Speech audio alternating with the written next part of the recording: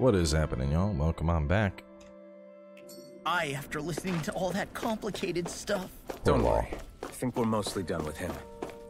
Now all we have to do is rest up and wait. Once the Fall Knights is good to go again, we'll be taking off for Ren- Taking some time to completely. Oh wow.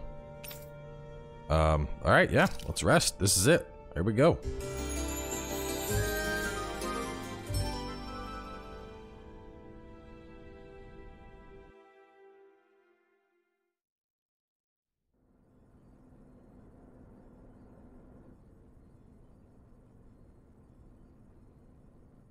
You still thinking about what the scientists told us? About where Renans really come from? I am, but not for myself. You're worried about the future of the Renan people. The fact that our people have been the same this whole time will only give the Dahnans further reason to resent us. But you still intend to confront this truth head on, don't you? Well, I did declare that I would live my life for the living, and not the dead. Even as I dream of retirement, I shall remain dedicated to the cause.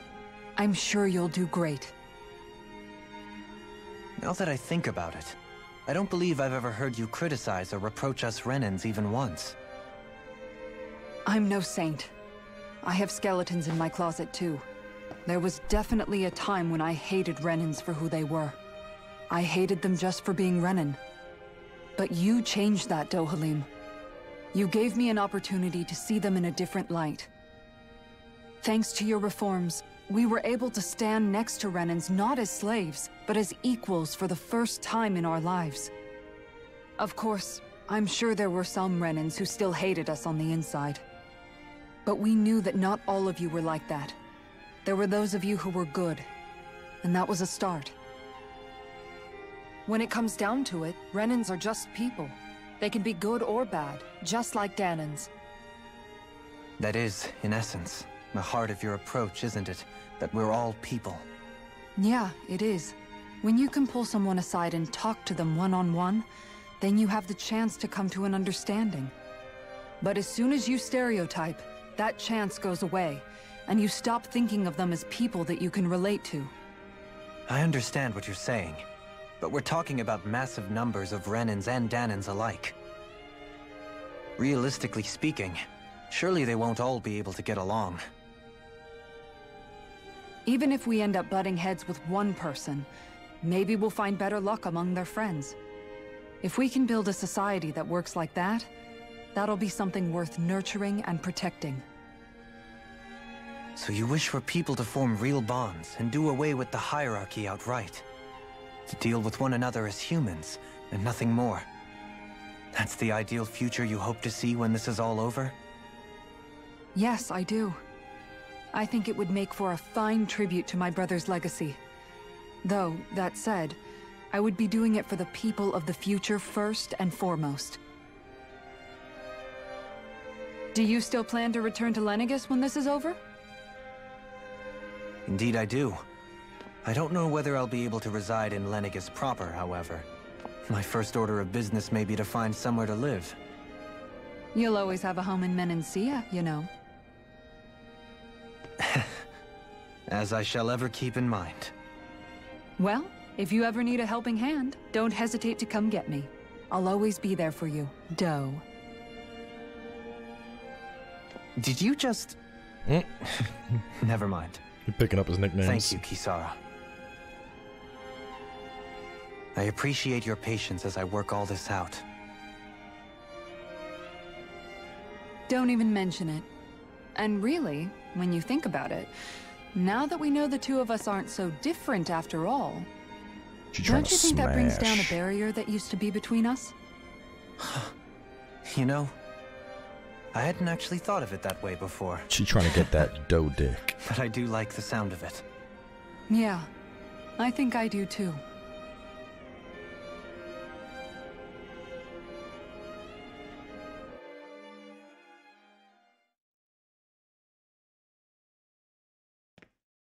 It's like everyone's final thoughts before we just go balls deep into battle. Hey, why'd you call me here? Was there something you wanted to talk about? Oh god, please tell me he's not confessing. Well, if everything we've heard about the Great Spirit is true, then we're getting close to our final battle. So I wanted to apologize while I can. Apologize? For what? I was being real stupid before. About whether Dahna's will had been controlling us and all that.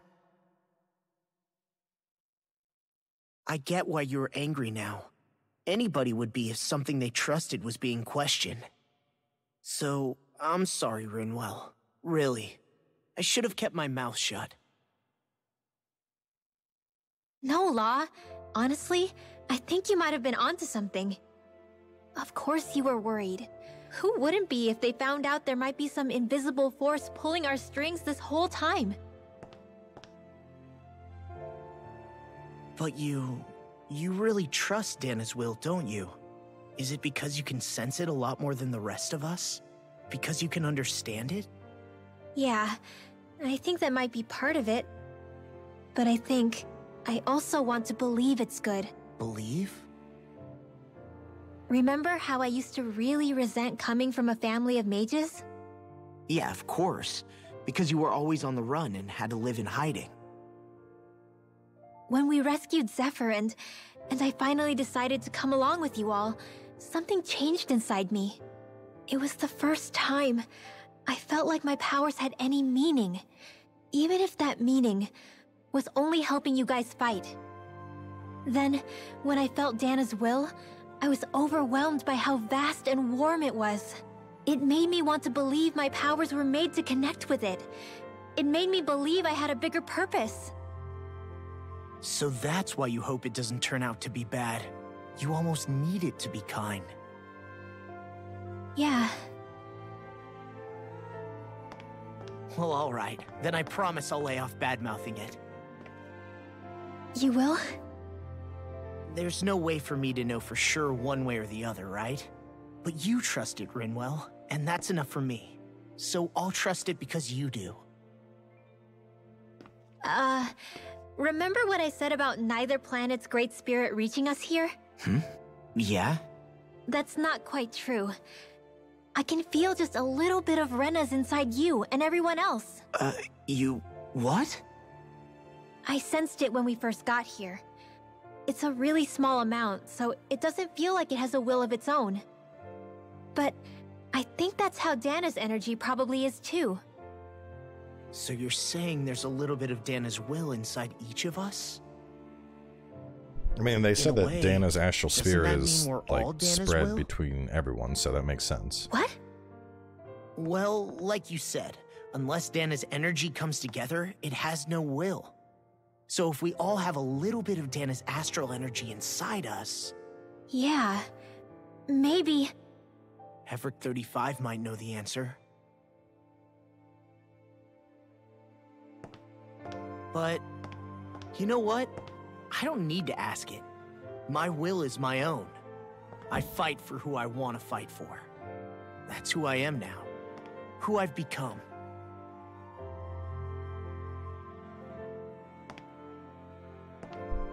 So thanks, Rinwell, for sharing that with me. Ah.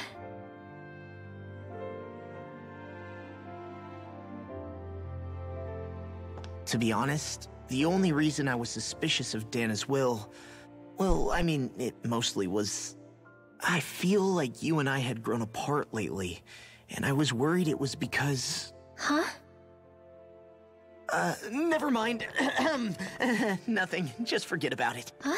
Uh, no. What were you saying? Saying? I don't remember Come saying on. anything. Now you won't tell me what you were no, thinking? that's not what I'm saying. Then saying. spit it out already. Um. I didn't think so, but this is actually like this is turning into a this is a confession moment, basically.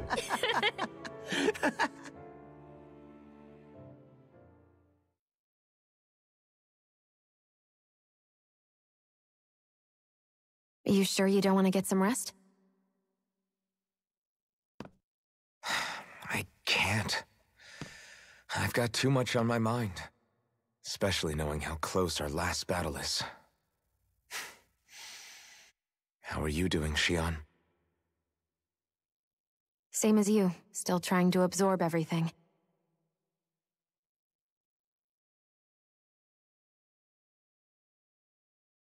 Remember when it was so simple? We were only fighting all the lords on Dahna? all of that feels like a lifetime ago, doesn't it? Ages and ages ago. Everything that's happened since we first met. So many fights, so much chaos, so many wonderful people.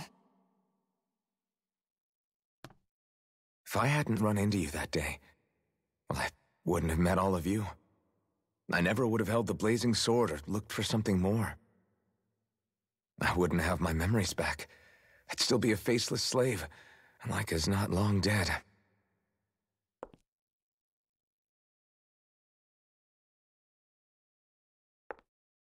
Hey, Alphen. I want you to promise me something. Yeah? If we can't find the Renis Alma, there's something I want you to do.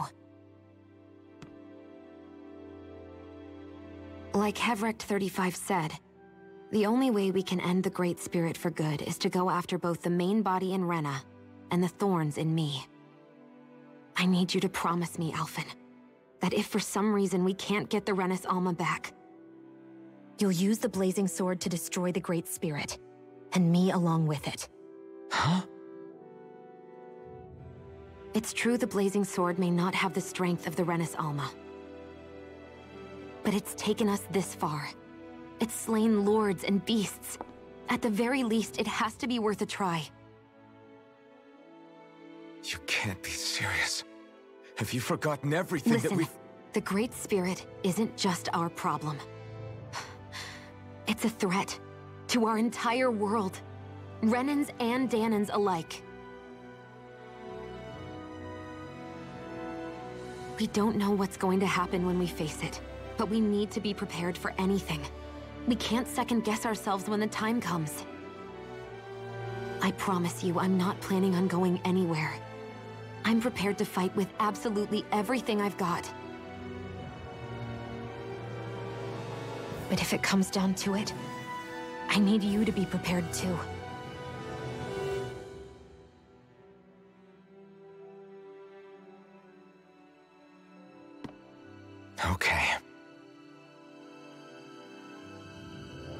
You should know that I'm not going to give up on you, Shionne. I'm going to fight this until the very end. I hope you can forgive me for that. Alphen.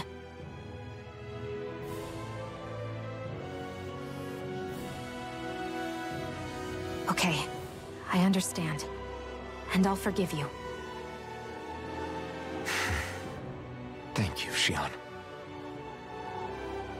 So it's a promise then? Yeah, it's a promise.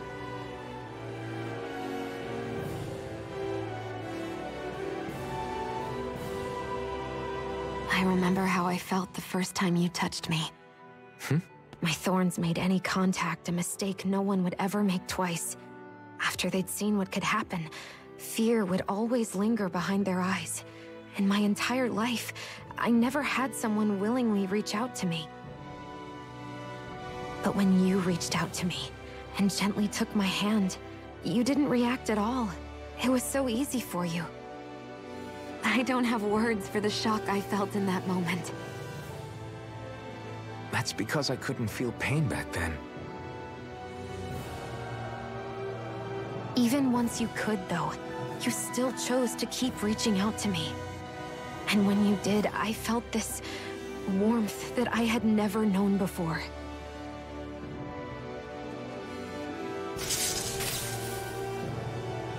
But still, I hate having to see you suffer through it every time you do. You won't have to worry about that for much longer.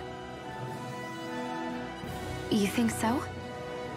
I do, because I... Shionne, I, uh... No. You can tell me once my thorns are gone. okay? Yeah, they're totally gonna smash. Yeah.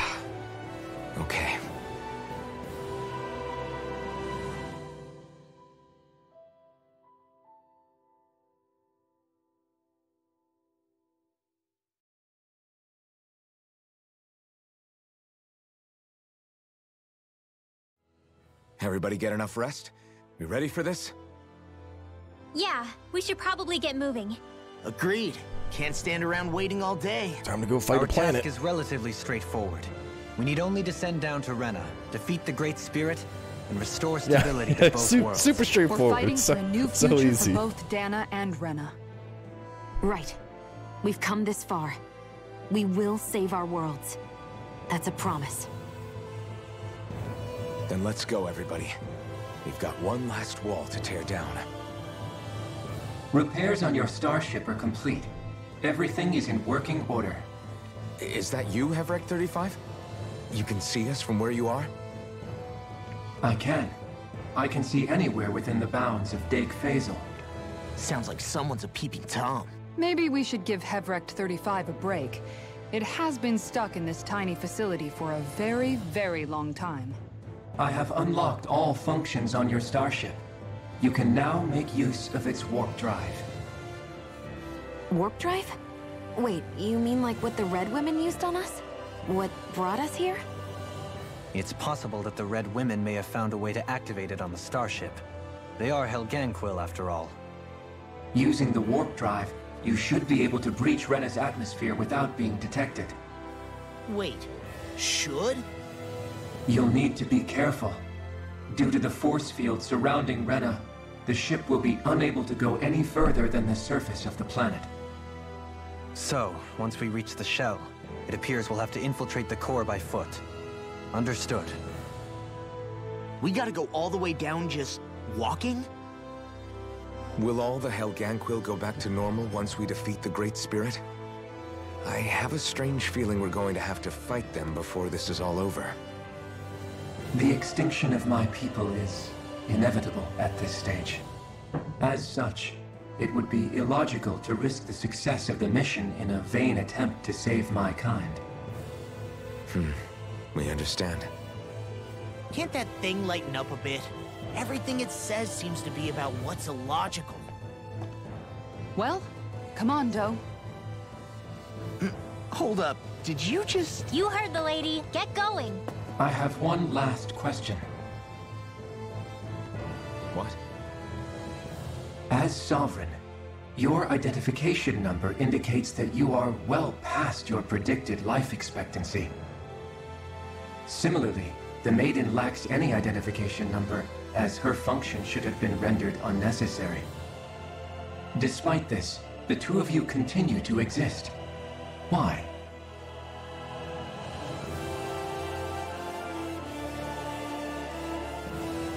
Exist because others have entrusted this to us. Over the years, many people have come together and sworn to see this through to the end.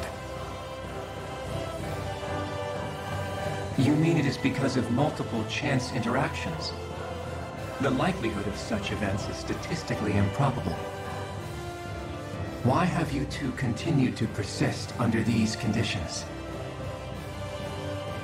It's hard to explain. To be honest, I don't think it's something an observer could understand.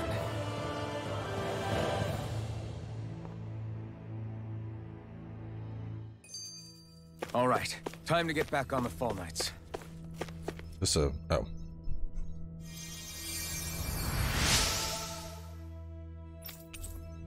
Happy bottles.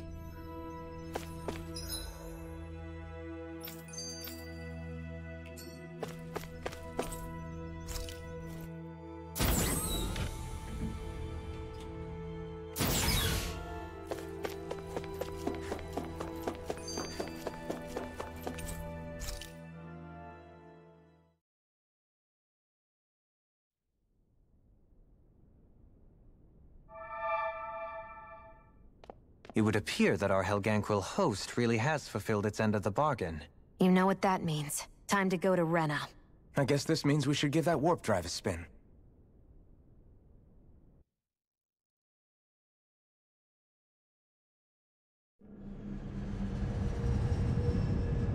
I figured we were gonna just like warp in. This looks like we're just flying on up.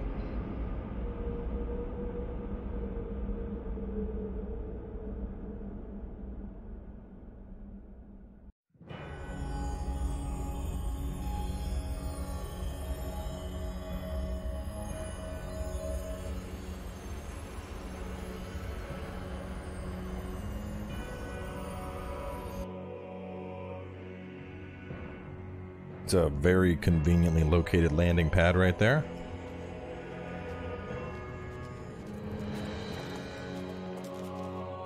Also, very bold of them to just assume that there's atmosphere on this thing.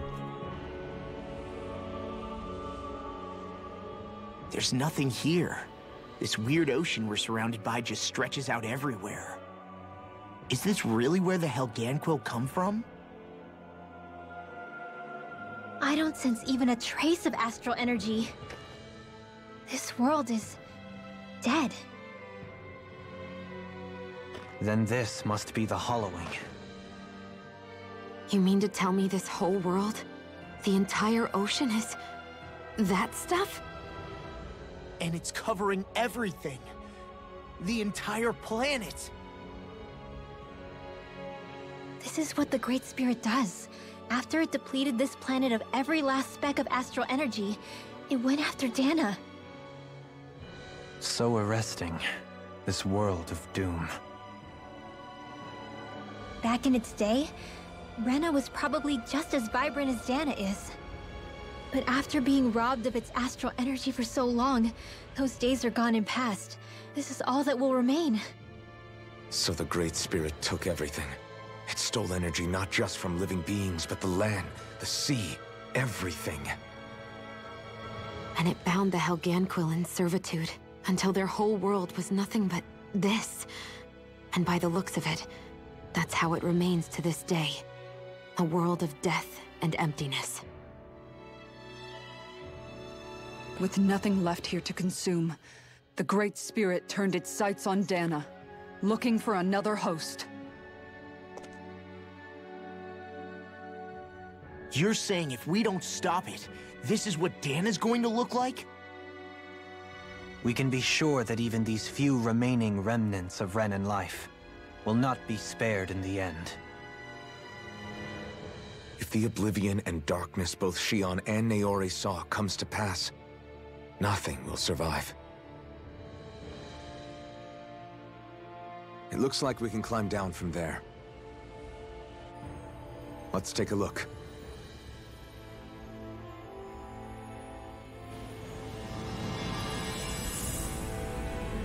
We have officially made it.